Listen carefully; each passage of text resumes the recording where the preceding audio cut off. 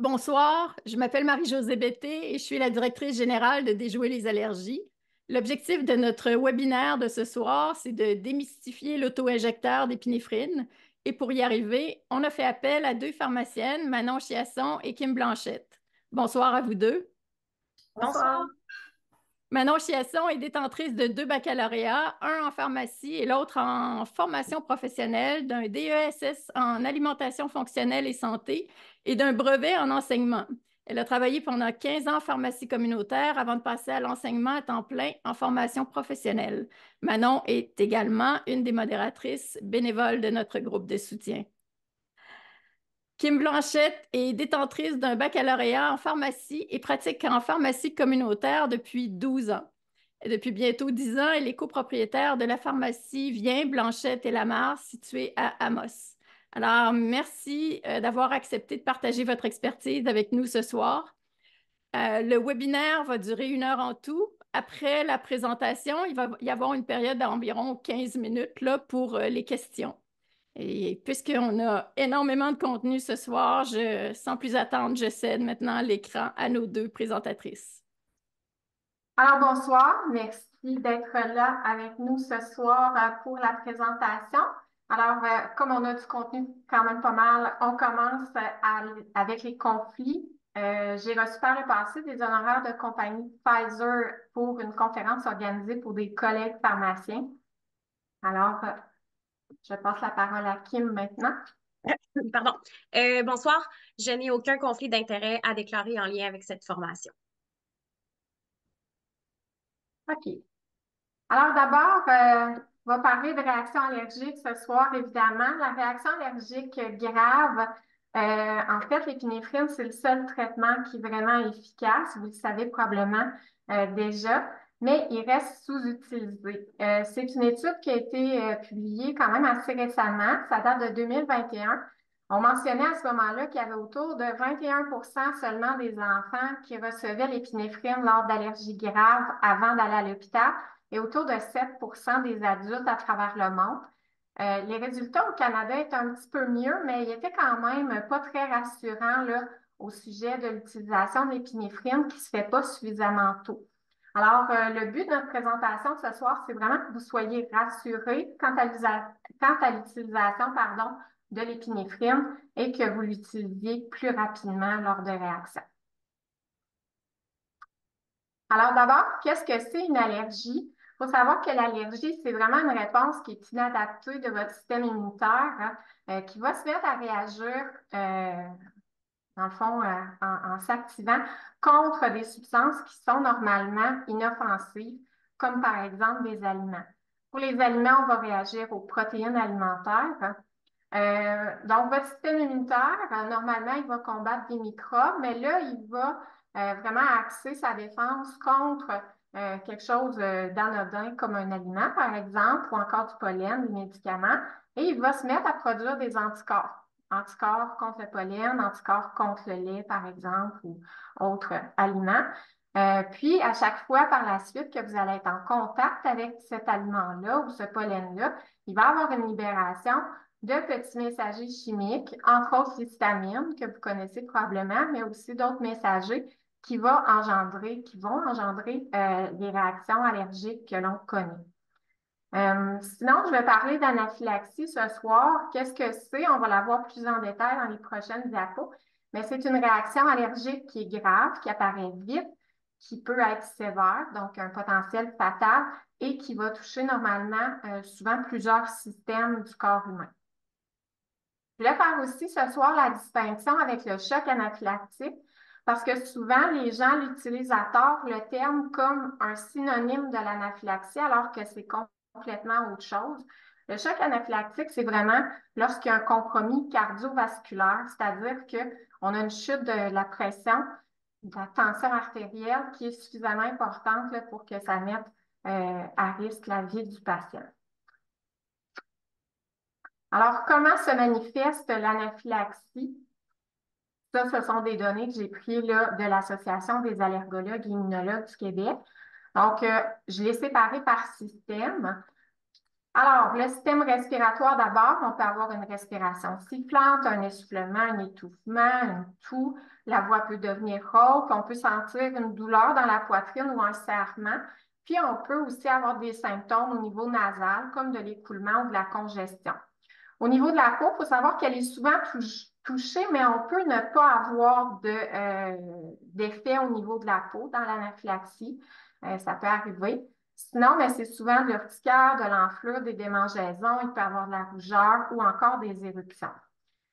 Au niveau du système gastro-intestinal, ce qu'on va noter, c'est souvent des nausées, des vomissements. Les diarrhées sont possibles, mais normalement, ils vont arriver à retardement, donc un peu plus tard dans la réaction. Sinon, il y a des douleurs abdominales qui sont possibles.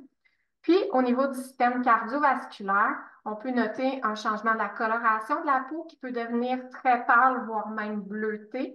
Euh, une baisse de la tension artérielle qu'on peut quand même noter, même si on n'est pas sous moniteur. Euh, souvent, les gens, là, ils vont euh, devenir étourdis, voire somnolents. Un enfant peut devenir peu réactif, donc c'est signe qu'il y a quelque chose qui ne va pas au niveau de la pression.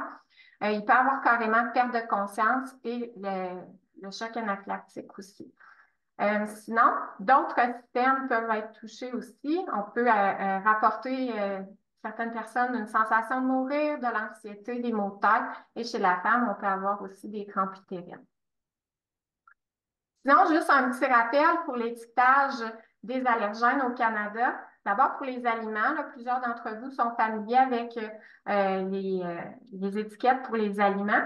Alors, au Canada, les fabricants et les importateurs, ils doivent afficher clairement les allergènes prioritaires sur euh, leurs étiquettes quand ils font partie de la liste des ingrédients. Donc, quand ils font partie de la recette, on le note. Toutefois, la contamination croisée, donc il peut contenir des traces de, c'est déclaré sur une base volontaire. Pour ce qui est des médicaments et des cosmétiques, c'est légèrement différent parce que euh, la partie du règlement sur les aliments et drogues qui en traite euh, c'est pas la même que pour euh, euh, les aliments. Donc, l'étiquetage des médicaments et des cosmétiques n'a pas à faire mention des allergènes alimentaires prioritaires comme ça l'est pour les aliments. Donc, ça, c'est important de le mentionner à ce moment-là à son pharmacien, nos allergies alimentaires, puisqu'il doit faire des vérifications auprès des compagnies pharmaceutiques. Il pourrait en avoir dans les médicaments ou encore dans les cosmétiques qu'on utilise. Euh, il existe un petit formulaire qu'on peut imprimer dans certains logiciels pour euh, aider le pharmacien, dans le fond, à faire euh, d'informations auprès des compagnies pharmaceutiques. Sinon, qu'est-ce que l'épinéphrine? Alors, l'épinéphrine, c'est ni plus ni moins de l'adrénaline. Adrénaline synthétique qu'on va administrer en intramusculaire avec un auto-injecteur. Dans le muscle de la cuisse, on va le voir tantôt. Pourquoi j'ai mis un ours? Parce que Kim et moi, on vient de la BTB d'abord. Alors, c'est le premier exemple qui m'est venu en tête. Mais si on rencontre un ours en forêt, on va avoir un petit boost d'adrénaline, fort probablement. Euh, si vous avez déjà fait une présentation orale devant public, comme moi et Kim, probablement qu'on a un petit pic d'adrénaline aussi ce soir. Euh, sinon, euh, si vous passez près de faire un accident, donc tout le monde a déjà vécu les effets de l'adrénaline l'injection intramusculaire, en fait, elle est vraiment très semblable. Ce n'est pas la même chose que l'injection intraveineuse, euh, qui est un petit peu plus risquée euh, que, l'injection intramusculaire, qui est sensiblement comme l'adrénaline qu'on sécrète normalement. Donc, euh, c'est vraiment rassurant à ce niveau-là. C'est le médicament de premier choix pour l'anaphylaxie. Donc, c'est vraiment la chose qu'on devrait utiliser pour le traitement. Ça, ça soit, euh, peu importe les signes et symptômes qu'on a parlé euh, tantôt, ça inclut le choc anaphylactique. Donc, c'est le traitement à utiliser. Là, merci à ma fille qui m'a généreusement fait un petit mastocyte. Mastocyte, qu'est-ce que c'est en fait? Euh, c'est une petite cellule de votre système un petit globule blanc qui sert à vous défendre normalement contre les microbes, mais aussi les parasites, et qui est impliqué dans l'allergie. Euh, donc, le mastocyte, quand vous êtes allergique à quelque chose, par exemple, si vous êtes allergique euh, au lait, vous allez produire des anticorps contre le lait, puis à la surface de vos mastocytes, vous allez retrouver les anticorps. Dès que vous allez entrer en contact par la suite avec du lait, vous allez avoir une activation du mastocyte dès que l'anticorps et le, lait se lient. En activant le mastocyte, il va sécréter des petits messagers pour préparer votre système immunitaire au combat. Hein. Il voit ça comme quelque chose de, euh, de, dangereux, en fait, le lait, un peu comme un microbe. Donc, il va euh, sécréter, entre autres, de l'histamine. C'est sur l'histamine que je vais me concentrer ce soir, mais il y a d'autres petits messagers aussi. Donc, il prépare votre système au combat comme si c'était un gros microbe méchant à combattre. Alors, le mastocyte, euh, sur mon petit schéma que je vous présente ce soir, je l'ai représenté par un canon. Ça devient un canon à histamine. Donc, dès qu'il est en contact avec euh, l'allergène, vous allez avoir le petit canon à, histamine qui se met en branle, puis là, qui libère de l'histamine. Euh, là, j'en ai dessiné un seul pour ne pas surcharger la présentation, mais il faut comprendre que des mastocytes, vous en avez vraiment partout dans votre corps. La petite cible, elle représente en fait les récepteurs à l'histamine. Parce que l'histamine, pour faire effet, elle doit circuler dans votre sang et venir se fixer sur ces récepteurs. Les récepteurs, il y en a vraiment partout aussi dans votre corps, là, situés dans plein d'organes différents. Puis dès que l'histamine doit se fixer à son mastocyte dans un organe X, vous allez avoir des signes et des symptômes d'allergie qu'on connaît. Là, euh, je fais juste à préciser, si vous êtes allergique au pollen, par exemple, disons au pollen de boulot, euh, ce mécanisme-là va se faire. Le pollen va aller dans vos yeux, dans votre nez, dans vos bronches, puis il va déclencher euh, les signes et symptômes qu'on connaît de l'allergie au pollen, donc les yeux qui piquent, qui sont rouges, qui pleurent, les éternuements, le nez congestionné ou qui coule. Donc ça, c'est vraiment parce qu'il est venu activer le pollen, les petits mastocytes euh, dans les organes où il est allé toucher. Dans l'allergie alimentaire, puis on va avoir le même problème avec les allergies aux médicaments, la problématique, c'est que votre allergène va être digéré, puis il va se retrouver éventuellement dans la circulation sanguine. Puis là, à ce moment-là, c'est là le problème qui est plus sérieux, c'est qu'il va être capable d'aller activer des petits mastocytes, des petits canons histamines partout dans votre corps, puis libérer en quantité, des fois quand même assez impressionnante, de l'histamine qui va aller se fixer partout et entraîner une réaction de plus en plus importante. Donc là, si on regarde le mécanisme, on imagine une réaction sévère. Euh, on va le voir tantôt, là, différents plans d'intervention quand administrer, mais la plupart d'entre vous, vous êtes déjà à l'aise avec le fait que normalement, quand deux systèmes du corps humain sont touchés, on injecte l'épinéphrine. Alors, on va partir de ce principe-là. On verra plus en détail les plans tantôt. Alors, disons que je suis allergique au lait, j'ingère par accident du lait, puis là, j'ai un début de réaction. Alors, euh, par exemple, j'ai de l'urticaire, puis là, j'attends un peu pour voir comment ça s'enligne. Je me mets à vomir, donc là, deux systèmes de toucher, je donne tout de suite mon épinéphrine. Épinéphrine, premier effet super intéressant, c'est qu'elle vient bloquer le canon à histamine. Donc, elle vient empêcher qu'il y ait d'autres histamines qui soient sécrétées et qui viennent causer des dommages collatéraux par la suite. Donc, ça, c'est le pourquoi on vous dit de le donner vraiment tôt dans la réaction, c'est pour cet effet-là. Sinon, on remarque quand même qu'il y a eu des histamines de. Cette histamine-là, elle va pouvoir se fixer à sa cible et provoquer des symptômes d'allergie un peu partout. Par contre, on voit qu'on l'a stoppé quand même assez vite. Puis, autre effet de l'épinéphrine qui est intéressant, c'est qu'il va être capable, elle va être capable d'agir aussi au niveau des voies respiratoires, entre autres, en dilatant les bronches pour permettre à l'air de mieux passer. Puis elle va aussi permettre de resserrer vos vaisseaux sanguins pour faire en sorte que euh, la pression qui peut chuter de façon très importante dans la réaction allergique, elle revienne à la normale. Donc, les deux effets les plus dangereux qui peuvent mener au décès, l'épinéphrine, elle va s'en charger. Donc, pour ça c'est super important de la donner très tôt. Et maintenant, euh, euh, on peut, en fait, euh, j'avais oublié ce petit détail-là, mais on pourrait ajouter un antihistaminique de deuxième génération par la suite et un inhalateur pour l'asthme, mais ces deux médicaments-là ne doivent jamais remplacer l'épinéphrine. On les ajoute après, mais on ne remplace pas l'épinéphrine avec ça. On voit un deuxième mécanisme maintenant, même allergie, même réaction sévère, euh, mais là, je n'ai que des antihistaminiques ou, euh, je préfère ne pas donner l'épinéphrine, bref, euh, une des deux options. Alors, j'ai de l'urticaire qui commence, j'attends un peu, oups, des vomissements. Je prends un antihistaminique, il va venir bloquer l'acide, mais l'antihistaminique ne bloque jamais le canon.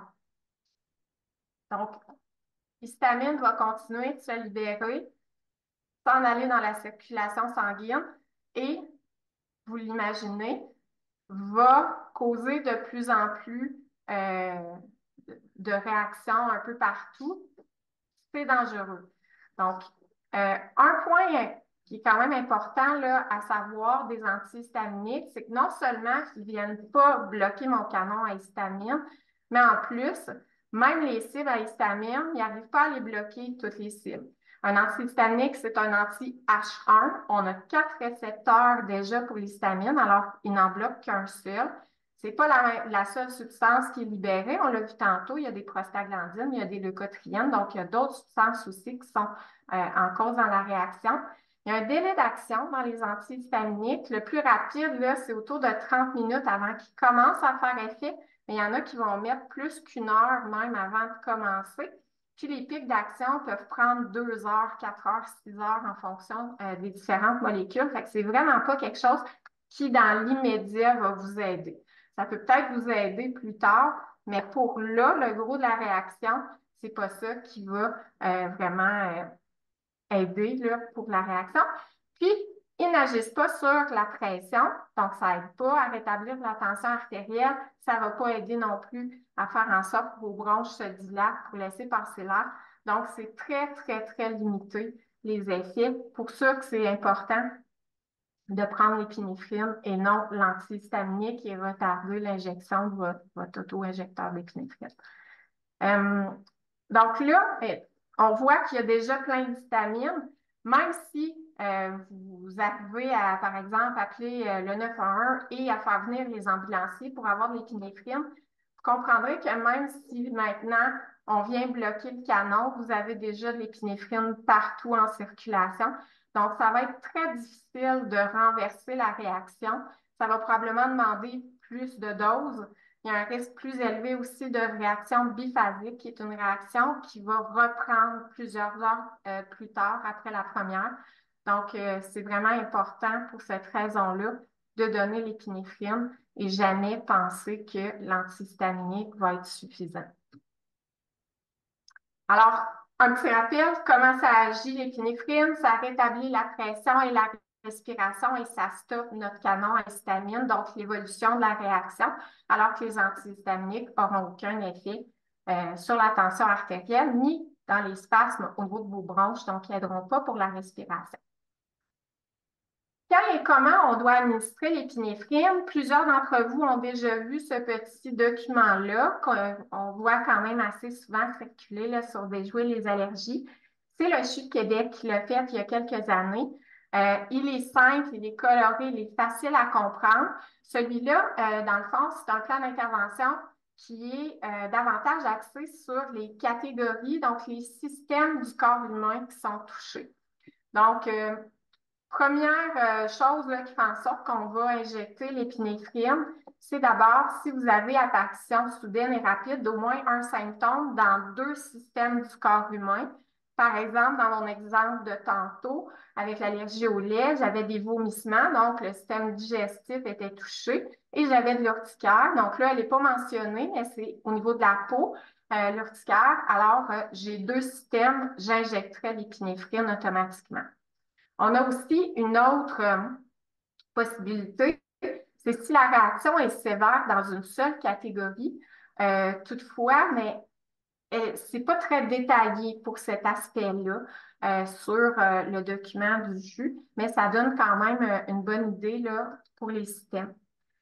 Maintenant, si on regarde celui qui a été fait par Allergie Québec, peut-être certains ou certaines d'entre vous l'ont vu.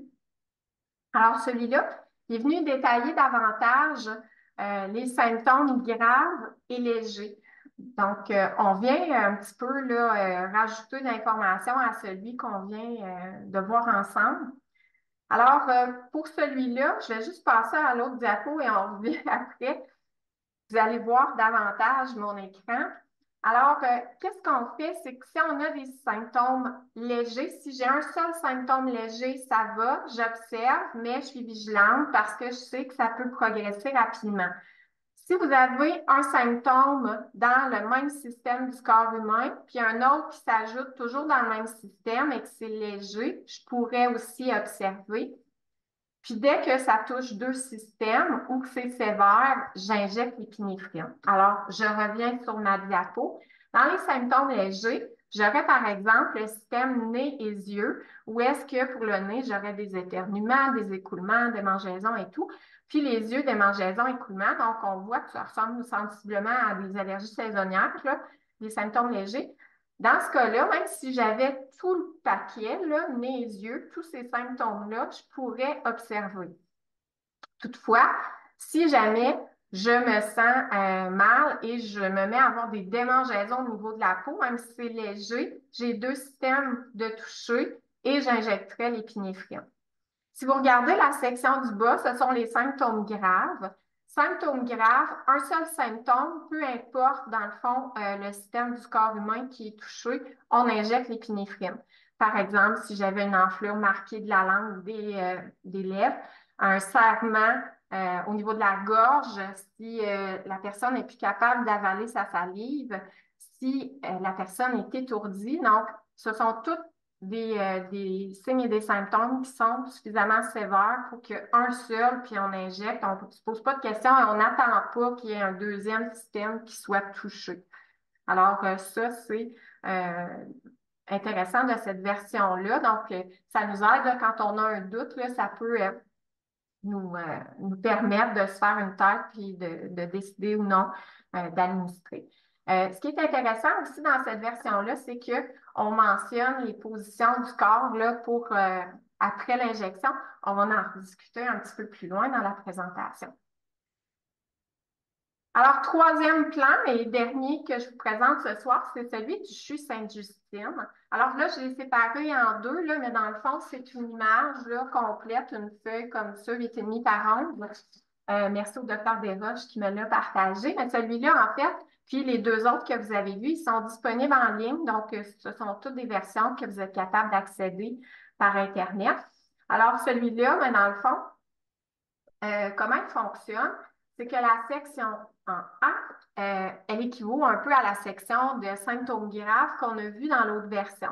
Alors, en A, mais un seul symptôme suffit à l'administration d'épinéphrine. Alors, vous remarquez que dans cette version-là, comme les deux autres, dès que deux systèmes sont touchés, on administre l'épinéphrine. Mais on a aussi, euh, bon, par catégorie, donc par système du corps humain qui sont touchés. Si j'avais, par exemple, euh, bon, dans le cardiovasculaire, un enfant peu réactif, j'injecterais l'épinéphrine. Ça serait suffisant, je n'aurais pas besoin d'attendre d'avoir un autre système. Euh, même chose pour le niveau digestif, des vomissements répétés ou encore une diarrhée persistante, ça serait suffisant aussi pour administrer. Si on regarde la portion ensuite en B, qui est dans le bas de la feuille normalement, c'est euh, encore euh, un peu comme l'autre version, les symptômes plus légers. Donc, ceux-là, mais si j'ai des symptômes multiples, mais dans la même catégorie, je pourrais soit seulement observer ou administrer un antihistaminique s'il a été prescrit par l'allergologue, par exemple, et s'il a été convenu de le prendre au plan de traitement, ce qui n'est pas toujours le cas. Ça dépend vraiment de votre plan. Euh, dans le fond, ben, on retrouve un peu les mêmes symptômes légers que tantôt. Si j'avais, par exemple, au niveau la peau, une démangeaison avec rougeur et plaques, c'est léger, je pourrais administrer un antihistaminique et surveiller attentivement. Puis évidemment, s'il se rajoute un autre symptôme, même léger, comme un seul vomissement, on injecte tout de suite l'épinéphrine. Euh, Puis sinon, ben, peu importe laquelle des trois versions vous allez utiliser, dans le doute, on administre l'épinéphrine. C'est le message qui est, est véhiculé pardon, par les allergologues depuis longtemps. Alors, il existe euh, présentement deux auto-injecteurs qui sont disponibles sur le marché canadien, donc euh, qui s'appellent EpiPen et Allergic. Les deux euh, contiennent de l'épinéphrine, qui est donc l'équivalent de l'adrénaline que, que, Manon nous expliquait tantôt là, que le corps produisait. Euh, ce sont euh, des médicaments qu'on dit de l'annexe 2, donc qui sont disponibles sans qu'on ait besoin d'une ordonnance d'un médecin, mais qui vont quand même demander consultation avec le pharmacien et ouverture d'un dossier pharmacologique parce qu'on ne les trouvera pas sur les tablettes de la pharmacie, évidemment, on va les trouver derrière le comptoir des prescriptions. Il faut savoir que ce sera couvert seulement si on a une ordonnance. Euh, par contre, là, depuis quelques, quelques années, là, en fait, c'est assez récent, euh, mais le pharmacien peut prescrire euh, l'auto-injecteur d'épinéphrine. Évidemment, c'est à chaque pharmacien de prendre la décision de le prescrire euh, ou pas. Mais ce qu'il faut savoir, dans le fond, c'est que c'est certain que vous allez devoir consulter le pharmacien qui va assurément vous poser des questions sur votre désir d'avoir de, une prescription d'auto-injecteur et qui va vouloir aussi prendre le temps de vous donner les conseils d'usage et sûrement même vous remettre des documents par écrit. Bref, ce qu'il faut savoir, c'est qu'il faut consulter le pharmacien et il faut avoir un peu de temps devant nous lorsqu'on se présente à la pharmacie pour avoir une prescription d'un auto-injecteur.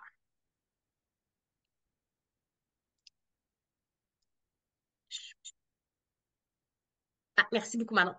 Alors, euh, comme vous voyez à l'écran, celui-là, c'est l'épipène euh, qui est disponible en deux dosages. Donc, le dosage qu'on dit enfant, mais euh, on se fie plutôt au poids pour décider de la dose qu'on va donner, qui est à 0,15 mg par dose, et le dosage qu'on dit adulte, qui est à 0,3 mg par dose c'est la Société canadienne de pédiatrie qui recommande de passer à la dose adulte euh, à partir de 25 kilos. Et ce, peu importe l'auto-injecteur choisi. Donc, c'est vraiment la dose d'épinéphrine. Et euh, donc, quand on a un enfant qui, nécessite un auto-injecteur d'épinéphrine, euh, puis quand il, s'approche du 25 kg, c'est important de mettre régulièrement le poids à jour dans le dossier pour que rapidement euh, on augmente la dose là, pour que quand il va, si jamais il y en avait besoin, ben c'est important d'avoir le bon dosage pour que ce soit efficace. Et sachez qu'il y a certains allergologues qui vont même passer à la dose adulte avant d'atteindre le 25 kg dans des cas particuliers. Ce que vous voyez maintenant à l'écran, c'est le allergique. Donc, c'est de l'épinéphrine, exactement comme l'épipène. Euh, les patients chez nous l'appellent communément l'épipène qui parle. Euh, donc, euh, la grosse différence finalement, parce que comme vous voyez, les dosages sont les mêmes, euh, la grosse différence, c'est le format. L'allergique est peut-être un petit peu plus compact et évidemment, ben, euh, il donne des indications sonores. Donc, dès qu'on le sort du boîtier, euh, il, nous, il nous parle pour nous aider là, à, à, faire les bonnes étapes pour l'administrer. Donc, c'est vraiment au choix de la personne qui veut l'utiliser, à savoir si c'est il préfère l'épipène ou l'allergique. Des fois, ça peut être une question de format. Il y en a qui vont en trouver un plus facile à traîner que l'autre. Des fois, c'est ça, ça peut être aussi qu'une euh, personne pourrait être rassurée par le fait euh, d'avoir des indications sonores au moment de l'utiliser. Fait qu'hésitez pas, euh, si jamais vous avez une prescription d'épipène, de, de, si vous préférez avoir l'allergique, vous pouvez tout à fait demander au pharmacien de recevoir le format que vous préférez parce que les deux, c'est de l'épinéphrine dans les mêmes dosages, donc c'est interchangeable par le pharmacien selon votre désir. Alors sinon, euh, la peur de l'auto-injecteur, maintenant, c'est quelque chose qui est quand même assez fréquent. Là. pas super agréable, c'est sûr, de se faire piquer. Mais il faut savoir que c'est une injection intramusculaire. Donc, c'est sensiblement euh, la même chose que quand vous avez un vaccin. C'est pas vraiment plus douloureux. Par contre, il y a un petit euh, quelque chose qu'on peut faire dans la technique là, pour faire en sorte que ça puisse faire un petit peu moins mal, là, même si ça ne fait pas une super grosse différence. Euh, on va l'avoir tantôt. L'épinéphrine, sinon, on en a parlé, c'est de l'adrénaline synthétique. Donc, les effets secondaires sont sensiblement les mêmes qu'une bonne frousse. Donc, le cœur qui bat vite, la pâleur de la peau, les tremblements. Donc, euh, passez proche, faire un accident, puis vous le savez ce que ça fait. C'est pour la majorité des gens exactement ça qu'ils vont ressentir. Chose importante, par contre, c'est si vous injectez au mauvais endroit. C'est fait pour injecter une place en intramusculaire dans le muscle de la cuisse. Si vous injectez dans un doigt, dans une main, dans un pied, euh, là, l'épinéphrine, la cuisse est capable d'en prendre de l'épinéphrine parce qu'elle a des gros vaisseaux sanguins. Ce qui arrive, c'est que si vous injectez, par exemple, dans votre pouce, chose qui est assez fréquente, on va voir tantôt comment l'éviter quand on est en train d'administrer. Euh, si on injecte dans un pouce, ce sont des petits vaisseaux. Puis là, ben, je vous ai dit que l'épinéphrine, elle vient serrer les vaisseaux pour augmenter la pression, mais en resserrant des tout petits vaisseaux, ce qui va faire, euh, ce qu'elle va faire, l'épinéphrine, c'est qu'elle va venir bloquer la circulation. On voit la peau qui va devenir blanche, blanche, blanche et froide. Puis, euh, ben, c'est important d'aller consulter rapidement pour euh, rétablir euh, en fait la circulation sanguine parce que sinon, s'il n'y a pas de sang qui se rend là, ça va finir par nécroser. Euh, donc, les tissus vont finir par mourir. Donc, on ne veut pas ça, évidemment. on peut mettre dans l'eau chaude en attendant, chaude et non bouillante. par contre, ben, je vous dis d'aller consulter, l'eau, c'est comme pas super évident là, en route. Alors, sinon, on peut masser la main mais euh, par expérience, parce qu'on l'a vécu à la maison, c'est pas super euh, efficace, mais ça peut activer un petit peu la circulation. Donc, en attendant, là, pendant qu'on se rend consulter, euh, on peut faire un massage pour ça. Alors, sinon, en cas de réaction, pas de contre-indication absolue, à l'administration. Donc, grossesse, problème cardiaque. En cas d'anaphylaxie, l'anaphylaxie est vraiment pire que l'épinéphrine. Donc, aucune contre-indication à l'utiliser. Ça sauve des vies. Vous avez un bel outil important de l'utiliser quand c'est le temps. Alors, méthode d'injection, en fait, chaque fabricant d'auto-injecteur propose des vidéos de démonstration pour euh, les auto-injecteurs et vous pouvez commander des auto-injecteurs de pratique. Alors, faites-le, commandez-le et faites-le plus qu'une fois là, pour vous remettre dedans là, euh, assez régulièrement pour ne pas hésiter quand vous allez l'utiliser. Alors, ça va être dans le deuxième tiers de la cuisse, donc environ où votre point, votre, euh, point arrive là, quand vous baissez votre bras. On va en parler tantôt. Pour la position d'administration, en fait, deux positions qui sont suggérées, que moi je suggérerais. En fait, euh, c'est assise d'abord. Donc, on peut euh, s'installer devant ou derrière la personne. Sinon, ben, nous-mêmes, on peut aussi s'injecter. Dans la position assise, les personnes qui vomissent et celles qui, euh, qui ont des grosses difficultés respiratoires, ils vont se sentir plus confortables dans la position assise. Sinon, on essaie d'aller avec la position couchée. Position couchée, on peut l'utiliser même pour l'injection. Bon, là, peut-être pas sur le dos. Moi, j'injecterais peut-être dans la position sur le côté. Là, ça serait plus facile d'accéder aux muscles sur le côté de la cuisse. Mais euh, la position couchée, hyper importante si on est capable. Si la personne n'a pas de difficulté respiratoire, euh, d'y aller avec la position couchée. Si la personne est étourdie, si on a un enfant qui est peu réactif, si la personne, euh, même elle a perdu conscience, évidemment, on va y aller comme ça. Et on essaie de soulever même les jambes pour faire en sorte que le, sang retourne vers le cœur, euh, parce que là, on a une chute de pression importante, donc on veut corriger ça. Euh, un des aspects qui est hyper important aussi dans la réaction, c'est de ne pas déplacer la personne rapidement. Euh, celle qui est en réaction et qu'on vient euh, d'injecter l'épinéphrine, c'est ce qui est marqué dans l'encadrant en bas ici. Pourquoi? S'asseoir et se relever rapidement, ça aussi, ça fait chuter la pression, puis elle est déjà à risque. Donc, on met la vie en danger, la personne, quand on fait ça. Puis malheureusement, là, euh, il y a des cas de décès rapportés suite au déplacement comme ça de la personne. Donc là, on se met dans une situation où la, la réaction a lampé.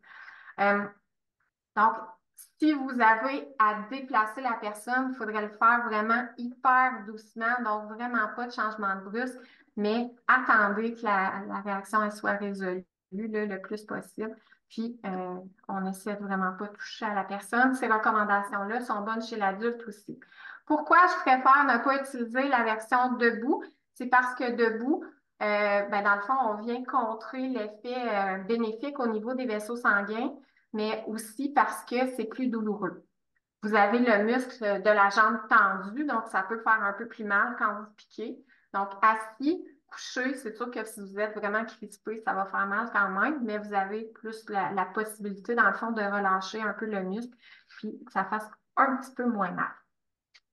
Même si ce n'est pas très douloureux. Euh, là, ben, dans le fond, on y va avec le bébé et l'enfant un petit peu plus euh, jeune que ce qu'on voyait sur les autres images. Alors, ce sont des images de vaccination, mais dans le fond, on peut y aller avec euh, ces positions-là quand même. Pour le bébé, on va aller dans le beau muscle ici, là, la cuisse de du pour piquer. Euh, on tient l'enfant ou le bébé, super important, la jambe, euh, parce qu'il bon, ne collabore pas tout le temps là, pour, pour l'injection. C'est important pour pas que l'aiguille se promène à l'intérieur du muscle puis qu'elle blesse. Donc, on maintient bien la jambe en place.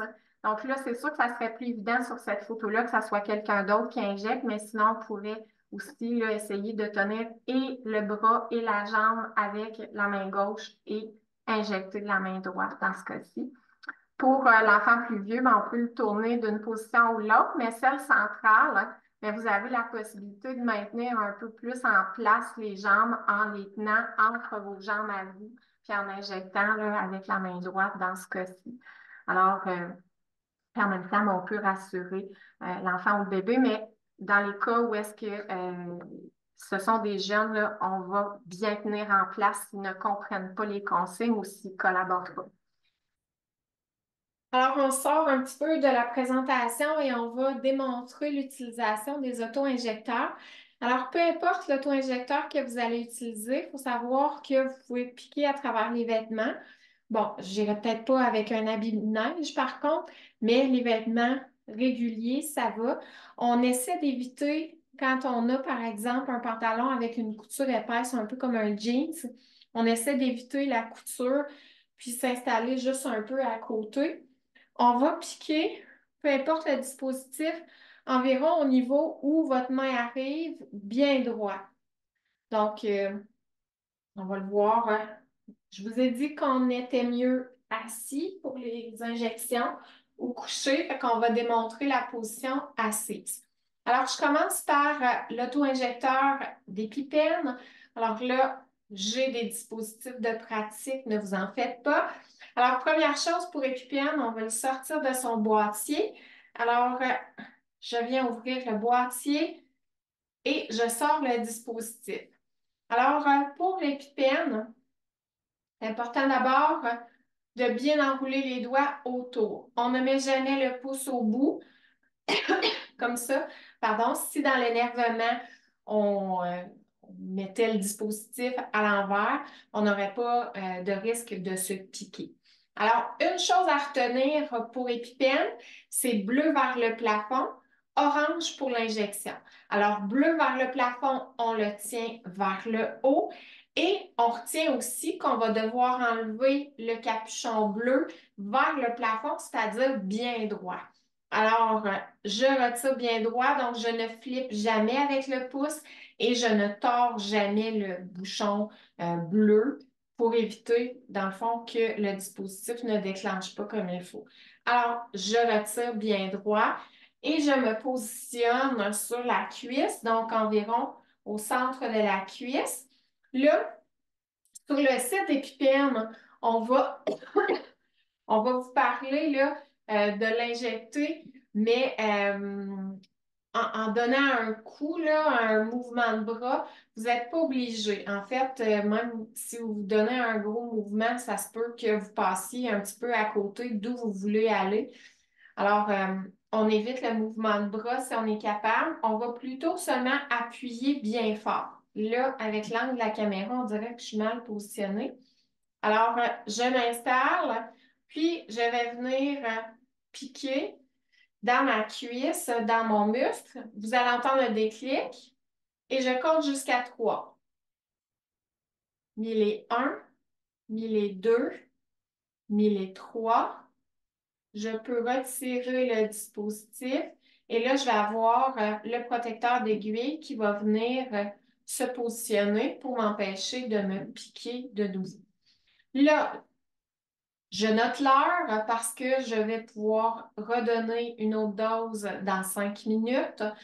Euh, donc, si par exemple il y a persistance des symptômes, euh, donc ça n'a pas l'air de s'améliorer beaucoup, ou encore si les symptômes reprennent. Si on a une belle amélioration de nos symptômes, on peut attendre parce que le plein effet de l'épinéphrine va se faire euh, à peu près 15 minutes.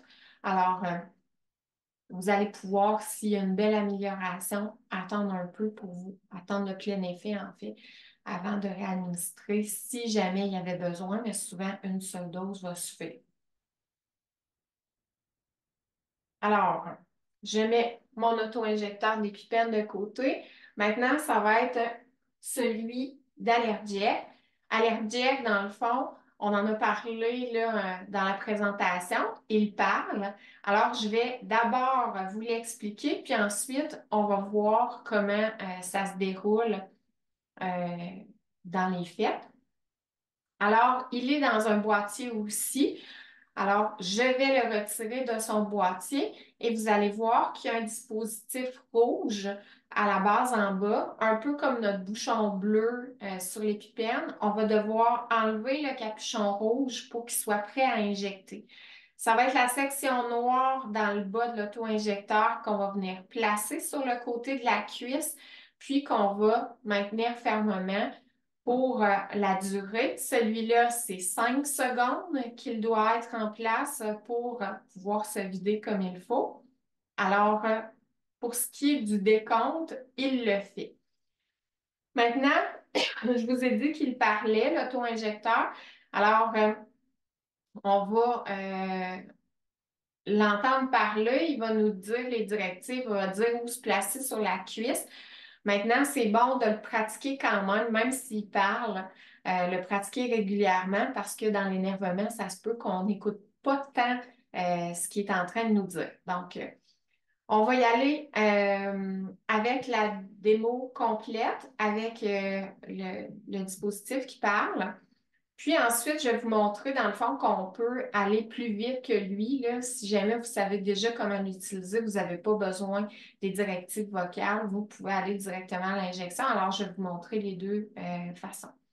Alors, d'abord, je retire et je le laisse parler. Ce démonstrateur ne contient pas d'aiguille ni de médicaments. Si vous êtes prêt à utiliser l'auto-injecteur, retirez le dispositif de sécurité rouge. Pour faire l'injection, placez l'extrémité noire contre le côté extérieur de la cuisse, appuyez fermement contre la cuisse et maintenez en place pendant 5 secondes. 5, 4, 3, 2, 1. Injection terminée. Ce démonstrateur peut être réutilisé à des fins de formation. Alors là, on a vu avec euh, l'ensemble du message. Maintenant, je pourrais y aller directement. Euh, donc, si vous savez déjà comment l'utiliser, on va venir le retirer et aller directement à l'injection. C'est ce que je vais vous montrer. Ce démonstrateur, pour faire l'injection, Placez 5, 4, 3, 2, 1. Injection terminée. Ce démonstrateur peut être ré... Alors, même chose que pour l'autre, je vais noter le temps. Euh, ça va me permettre de savoir euh, à quelle heure je l'ai donné, puis à quelle heure je vais pouvoir le donner de nouveau. Ça va aussi me permettre, peu importe le dispositif, de donner l'information aux paramédics euh, lorsqu'ils vont arriver. Donc, eux aussi vont avoir besoin de l'information. Pour les dispositifs qui sont utilisés, en fait, Allergic, l'aiguille rentre à l'intérieur. Il n'y a pas de protecteur d'aiguille, mais on ne le voit pas là, sur le dispositif de pratique. Alors, les deux, dans le fond, là, ça va être important, comme il y a une aiguille, dedans de les donner, si ce n'est pas le paramédic qui le ramasse, il ben, faut le ramener à la pharmacie pour qu'il soit jeté de façon sécuritaire pour empêcher, dans le fond, que quelqu'un puisse se piquer éventuellement sur l'aiguille. Alors, voilà pour les délais. Euh, est-ce qu'on doit aller consulter à l'urgence après l'administration d'épinéphrine? En fait, le discours a commencé à changer pendant la pandémie. Euh, même si ça ne fait pas consensus euh, au sein des allergologues, la Société canadienne d'allergie et d'immunologie clinique s'est positionnée en août dernier. Si la visite aux urgences constitue un frein à l'administration d'épinéphrine, ce qui a été statué, c'est qu'il pourrait être raisonnable pour certains patients qui répondent à différents critères qui sont bien précis de demeurer à la maison suite à la première dose d'épinéphrine et euh, de voir qu'est-ce qui se passe. Toutefois, si jamais il nécessite une deuxième dose, il faut aller consulter la même affaire. Euh, ça, ben, c'est important d'en discuter avec son allergologue pour voir les recommandations, si elles sont applicables pour vous. Il faut que la décision soit partagée entre vous et votre médecin et qu'elle soit prise en toute connaissance de cause. Mais c'est quelque chose qui euh, s'en vient avec certains patients. Alors, comment on doit conserver les auto-injecteurs? Bien évidemment, on les conserve dans leurs emballages originaux. Ils doivent être à l'abri de la lumière et idéalement à une température qui ne dépassera pas 25 degrés, quoi qu'on sait que l'épinéphrine peut tolérer entre 15 et 30 degrés Celsius. Ça ne doit pas être réfrigéré ni congelé. Il euh, faut vérifier régulièrement le contenu euh, de votre auto-injecteur par la petite fenêtre de contrôle. Euh, la solution, elle doit être claire, incolore et ne doit pas contenir de précipité. donc, il ne doit pas avoir des, des, petites particules. Et évidemment, il ne faut pas qu'on ait l'impression que, ça fuit, hein, que ça coule, parce que là, il pourrait manquer de médicaments le moment venu.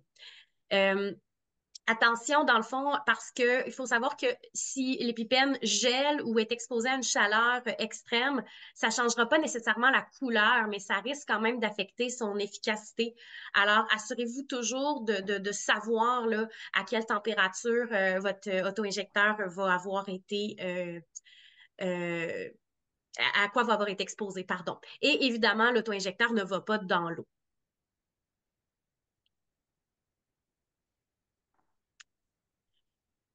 Alors, quand est-ce qu'on doit le remplacer, l'auto-injecteur? Bien, évidemment, si la couleur change, si on voit un petit précipité euh, dans la fenêtre de vérification, euh, si notre auto-injecteur, on sait qu'il a été euh, exposé à des températures extrêmes, on l'a oublié dans l'auto à moins 30 en hiver, par exemple. si on voit qu'il est périmé, hein, parce qu'il y a toujours la date d'expiration sur les auto-injecteurs, s'il est tombé à l'eau, si on l'a utilisé, évidemment, pour le remplacer. Et notez qu'il est préférable d'avoir minimalement deux euh, auto-injecteurs en main en tout temps et évidemment de les conserver sur soi, euh, bon, pour avoir une idée de la température, mais aussi pour l'avoir au moment où vous, euh, vous en avez besoin, parce que c'est pas le temps de le chercher, évidemment. Euh, vous pouvez d'ailleurs demander à votre pharmacien qu'il vous fasse un rappel euh, pour l'expiration de votre auto-injecteur.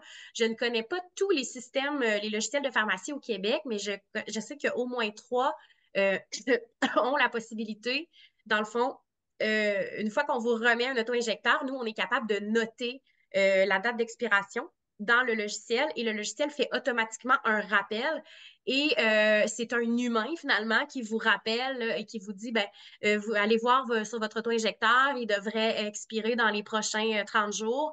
Alors on vous conseille de le remplacer. Fait que nous dans mon milieu, on le fait d'emblée pour les patients.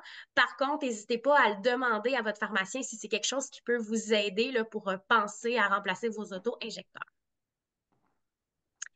On vous présente euh, des outils qui peuvent aider au transport et à la conservation de votre auto-injecteur. Par contre, sachez que c'est important de vérifier vous-même les directives de chaque fabricant euh, pour être sûr de l'utiliser adéquatement et d'avoir le meilleur contrôle des températures possibles, mais ce n'est pas à toute épreuve non plus.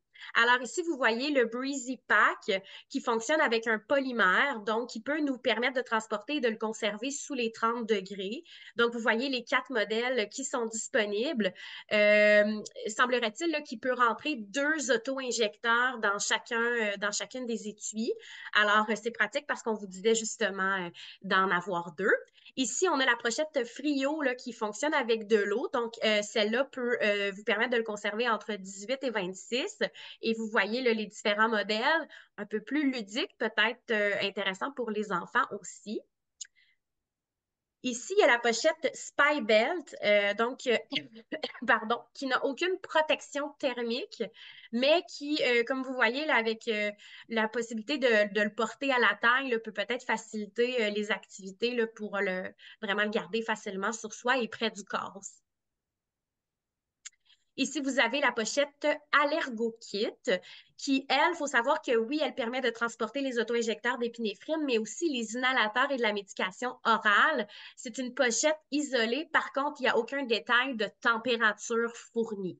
Euh, fait que c'est une autre option ici. Non, il est aussi possible de commander des pochettes directement de compagnies qui les fabriquent parfois, donc euh, avec le numéro de dos de votre auto-injecteur. Sinon, certaines pharmacies, des magasins de sport vont en tenir euh, des pochettes. Euh, pour l'épipène en hiver, l'épipène et l'allergique en hiver, la conservation, il n'y a pas de dispositif pour le conserver à l'abri du gel. mais la chaleur du corps, ça suffit. Donc, sous le manteau, pas dans les poches, mais vraiment sous le manteau, euh, la chaleur va le, maintenir à la bonne température. Puis, été comme hiver, vous pouvez utiliser des petits thermomètres pour aquarium pour avoir une idée, mais c'est pas hyper précis. Mais ça peut euh, donner une idée de l'épipène ou de l'allergique, à quelle température euh, ils se sont retrouvés. Là, si par exemple, vous l'avez laissé loin des yeux pendant un certain temps. Sinon, des questions euh, fréquentes pour voyager avec un auto-injecteur, ben, c'est possible, mais ça demande du temps. Ce n'est pas quelque chose que vous devriez faire à la dernière minute. Ça demande des papiers. D'abord, un dossier patient à la pharmacie récent signé par votre pharmacien. Des étiquettes, mais étiquettes pas sur la boîte, idéalement, là, mais directement sur euh, l'auto-injecteur, hein, sur tous vos contenants. Et euh, il existe des modèles de lettres d'autorisation pour le port d'auto-injecteur dans l'avion euh, signés par le médecin. Là, sur le site d'Allergie Québec, entre autres, j'en ai trouvé un. Et on conseille évidemment une assurance voyage parce que ça peut coûter très cher si vous avez à consulter à l'extérieur. Médicaments supplémentaires ou vaccins dans certains pays vont vous être recommandés, par exemple la médication pour la malaria et autres vaccins aussi nécessaires. Euh, ben, ça peut contenir des allergènes, mais euh, les compagnies pharmaceutiques ne répondent pas nécessairement hyper rapidement. Il y en a qui vont nous répondre dans les minutes, puis d'autres, euh, pour les, questions pour les allergènes comme ça, euh, ça peut prendre quelques jours, voire même quelques semaines. Donc, c'est important de, de prendre ça, faire ça d'avance. La quantité à apporter avec soi, mais c'est très variable. C'est vraiment du cas par cas. Euh, je vous conseille par contre de les avoir à deux endroits et avec soi, pas dans la soute à bagages euh, que vous prenez l'avion, mais même en autobus. Gardez-les vraiment avec vous dans, euh, dans le véhicule parce que les pressions, les températures peuvent ne pas être correctes pour vos auto-injecteurs. À deux endroits pour éviter que si vous perdez un bagage à main, par exemple, ben, de perdre le, stock complet de vos auto-injecteurs. Alors, combien qu'on en amène, ça dépend. Il y a certains endroits, peut-être que ça serait correct d'avoir vos deux habituels. Il y en a d'autres que ça va être plus compliqué. Alors, euh, je vous dirais des pistes en fait de réflexion que vous allez avoir avec votre pharmacien ou votre médecin. Quelle est votre destination? Donc, euh, c'est pas la même chose si vous allez euh, dans le Canada ou au Québec quelque part, si vous allez dans le sud, dans un pays chaud quelque part. Euh, la distance d'un milieu de soins, est-ce que vous allez être à cinq minutes d'une pharmacie ou d'un hôpital, ou bien si vous allez être à deux heures euh, de route, euh, qui va préparer les repas? Est-ce que c'est vous dans un, petit appartement ou si vous allez être dans un tout influx, que là, ça va tout le temps être des personnes différentes qui vont faire les repas? Quelle est la durée du séjour? Est-ce que vous allez juste deux semaines ou bien si vous partez six mois? Euh, est-ce que ça va être facile de se procurer d'autres auto-injecteurs ou ça va être compliqué et ça va demander un paquet de démarches? Ou, euh, autre point à considérer, ben, est-ce que vous êtes prêt à débourser un montant différent? Parce que là, c'est sûr que vos assurances ne seront pas valides euh, ailleurs parce que le prescripteur non plus n'est pas valide ailleurs nécessairement. Alors, c'est aussi un, point que vous devez considérer. Alors, c'est vraiment du cas par cas. J'ai validé aussi avec une allergologue, puis elle aussi, là, il faut prendre le temps avec le patient pour vraiment euh, cerner ses besoins. Alors, euh, ça, ben, je pense qu'on peut se permettre de le sauter. On en a parlé euh, les deux premiers points, là, quand même considérablement. Les antihistaminiques, par contre, on va vraiment aller avec les antihistaminiques de deuxième génération parce qu'ils ont un meilleur profil d'effets indésirables, sont beaucoup mieux tolérés. Donc, cétirizine, loratadine, desloratadine, fexofénadine euh, en vente libre, mais aussi rutapatine et bilastine qui sont sous ordonnance, sauf évidemment si l'âge ne le permet pas. Alors, euh, j'y vais rapidement aussi. Donc, euh, votre pharmacien est là pour vous, pour vous conseiller les produits, euh, pour vous traiter aussi si vous faites une réaction anaphylactique et vous, que vous vous présentez à la pharmacie. comme on vous disait, on peut servir en vente libre ou même vous prescrire un auto-injecteur d'épinéphrine. On peut prolonger une ordonnance qui serait échue et on peut ajuster la dose de vos médicaments, donc incluant l'auto-injecteur. Donc, quand on vous parlait tantôt de l'enfant qui va traverser le 25 kg, le pharmacien est autorisé à faire lui-même l'ajustement de la dose. Et euh, notez toutefois que tout ça va être fait selon le jugement de chaque pharmacien que, que vous allez rencontrer. Alors, sinon, des ressources à consulter, évidemment, euh, déjouer les allergies, ou est-ce que vous avez des vidéos de recettes, des vidéos aussi pour répondre à plusieurs questions qui reviennent fréquemment avec Dr Desroches, Dr Bégin, là, qui euh, sont des collaborateurs habituels. Sinon, vous avez aussi Allergie Québec où il y a plusieurs articles sur différents sujets là, où on se pose souvent des questions. Euh, vous avez aussi plusieurs outils qui sont disponibles et Allergie alimentaire Canada, là, qui a été euh, un endroit où je suis allée chercher euh, différents outils pour ce soir. Sinon, question à rafale, Kim? Oui. Manon, qui peut administrer l'auto-injecteur? Tout le monde. Pas besoin d'être formé. C'est sûr que l'idéal, c'est de savoir comment les utiliser, mais on, peut le faire. En fait, on doit même le faire parce qu'on a euh, un devoir de citoyen, en fait d'aider les gens qui ont besoin d'aide. Euh, donc, euh, voilà. À partir de quel âge un enfant peut-il administrer lui-même son auto-injecteur? Ça dépend de l'enfant, de sa maturité et tout. Il y a une étude qui a démontré que les parents, on veut euh, vraiment qu'ils soient très, très autonomes vite. il y en a peut-être qui l'ont vu passer là, dans les infolettres, entre autres d'Allergie Québec, mais bon, on est peut-être un petit peu trop, là, les parents, euh, vite sur le piton. Les professionnels de la santé espèrent qu'entre 12 et 14 ans, un enfant soit capable de reconnaître les symptômes et de s'administrer l'épinéphrine, mais évidemment, il faut les amener à ça tranquillement. Donc, on parle idéalement, là, si entre 9 et 11 ans, on les habitue à se pratiquer avec les auto-injecteurs de pratique, euh, je montre les deux modèles, euh, puis euh, à reconnaître tranquillement les signes, à reconnaître quand il faut qu'ils injectent, puis quand ils peuvent surveiller, ben, à 12 ans, ben, ils devraient quand même commencer à être bons est-ce qu'on peut obtenir une prescription à vie? Oui, oui, on peut. Et puis, si votre pharmacien dit non, c'est parce que son logiciel ne le permet pas peut-être, mais c'est légal, une prescription à vie, alors oui, vous pouvez. Si le liquide à l'intérieur de l'auto-injecteur est clair, est-ce que cela signifie nécessairement que l'épinéphrine pardon, est efficace? Non, j'en ai fait geler volontairement chez moi des vieux épithèmes euh, et des vieux allergiques. Euh, j'ai fait euh, plein de tests. Donc, la chaleur, euh, le gel et tout ça, ça revient clair. la majorité du temps, il n'y a, pas de changement, mais ça ne veut pas dire qu'il est efficace. Donc, il ne faut vraiment pas se fier seulement à la couleur. Est-ce qu'on peut utiliser un auto-injecteur qui serait périmé? Oui. C'est sûr que c'est pas recommandé d'avoir des périmés. Là, on veut quelque chose qui fasse effet. ils perdent l'efficacité, les périmés, avec le temps. Donc, c'est pas idéal, mais si on n'a vraiment pas autre chose, euh, c'est sûr qu'on l'essaie.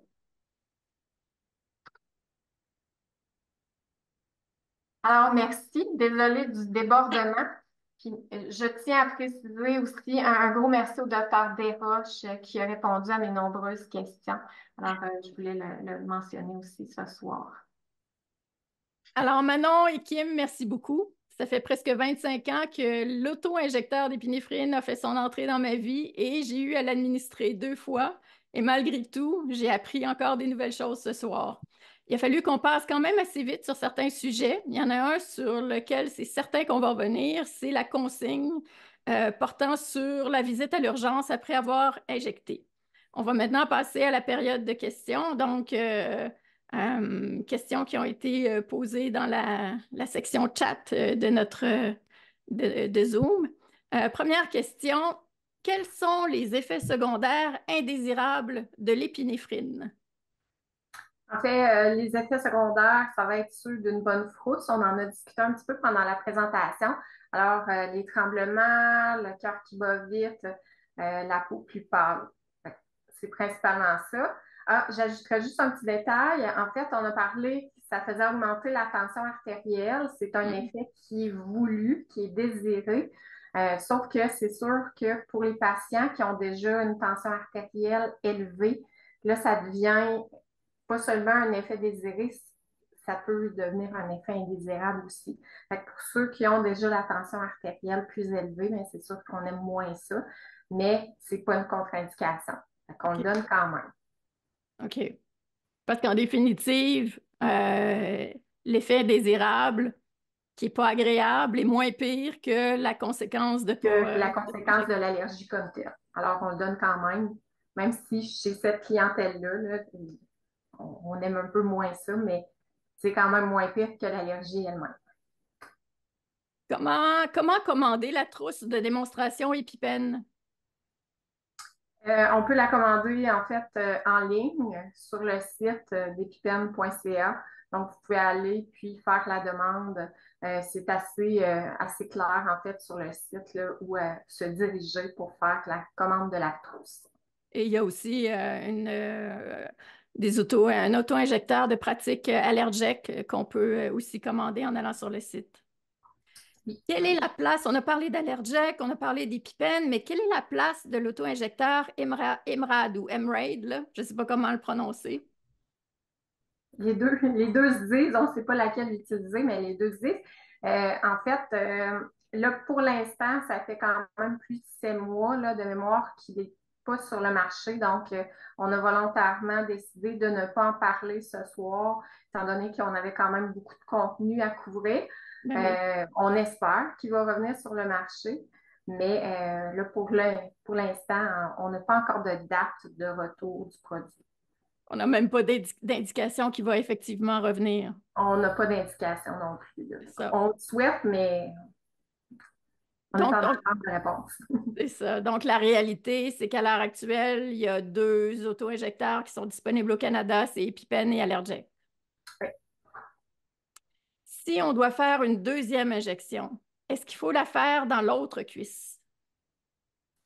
Euh, donc, pour en fait, le, mode d'action comme tel, je dirais que oui, je changerais de cuisse étant donné que ça vient resserrer les vaisseaux.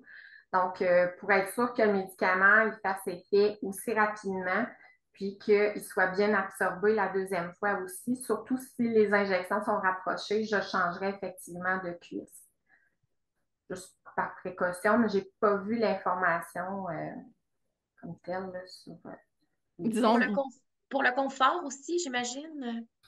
Mm-hmm. ça, semble être, euh, ça semble être une recommandation de gros bon sens, on va dire. Est-ce que le pharmacien ou la pharmacienne peut signer l'autorisation du port de l'auto-injecteur dans l'avion? Moi, je dirais que oui, parce que je l'ai déjà fait maintenant. Alors, euh, oui, étant donné qu'on peut prescrire, euh, je pense qu'en tant que prescripteur, on peut euh, signer le port de, de l'auto-injecteur dans l'avion. Puis, il y a un super formulaire qu'on peut imprimer. Puis, c'est très simple. Excellent. on, va, on, mettra le lien, le, lien sous la vidéo. Quelqu'un mentionne, j'ai obtenu une prescription à vie d'auto-injecteur à vie mais la pharmacie ne peut pas m'offrir plus que 10 ans.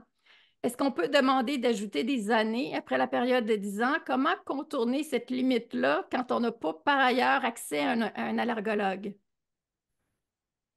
Une bonne question. Euh, en fait, oui, c'est. Euh, la prescription en vie, elle est légale, en fait.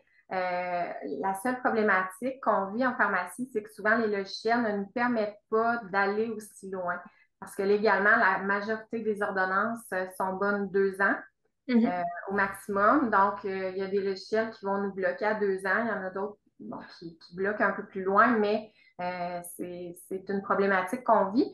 il y a moyen de contourner dans la mesure où on laisse des traces là, pour être capable de faire un suivi à partir de l'ordonnance originale.